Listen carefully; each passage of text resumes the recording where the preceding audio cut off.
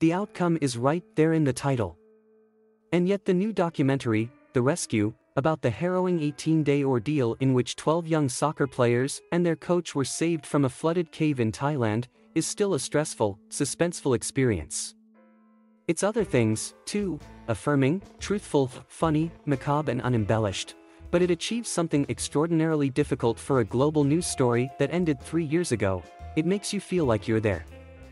From the Free Solo, Oscar-winning filmmaking team E. Chai Vasarhelyi and Jimmy Chin, who took audiences sweaty palmed up the vertical slope of Yosemite's El Capitan, The Rescue, is perhaps an even more accomplished piece.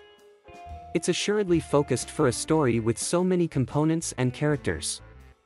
Instead of trying to make it about everything, the filmmakers decided to hone in exclusively on the rescue efforts and to mostly let the people who were actually there tell the story.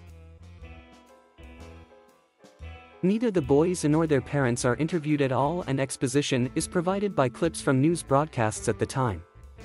This means no talking heads trying to up the suspense, or reality show-like backstories about the kids and their families, this story doesn't need it.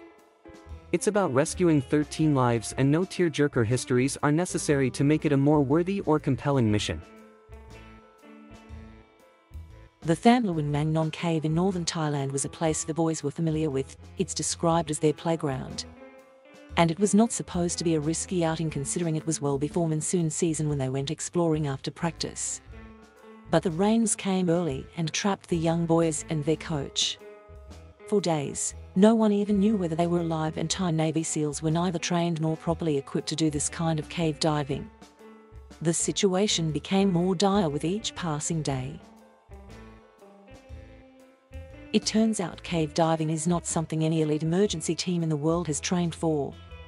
The only experts are the weekend hobbyists, which is how a group of middle-aged British men became central to the operation.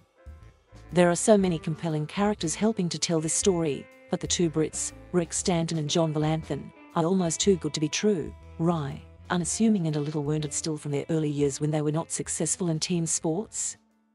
In other words, there is a reason why they find solace and peace in the muddy, confined, dangerous recesses of underwater caves that would send most people into a panic. It is not dissimilar to Free Solo's Alex Honnold.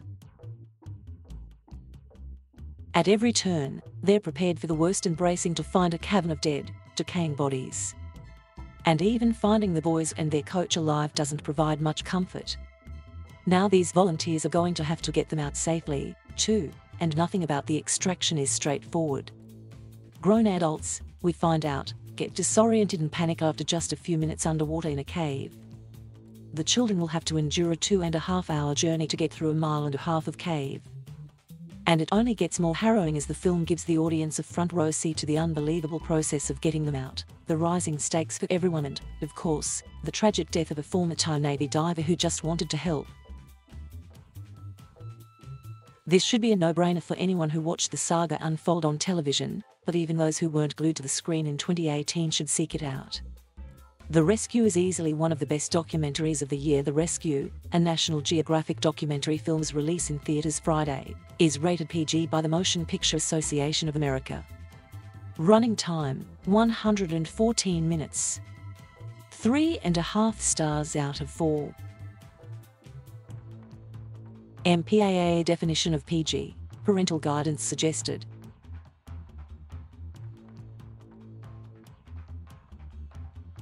Thank you for watching. Please subscribe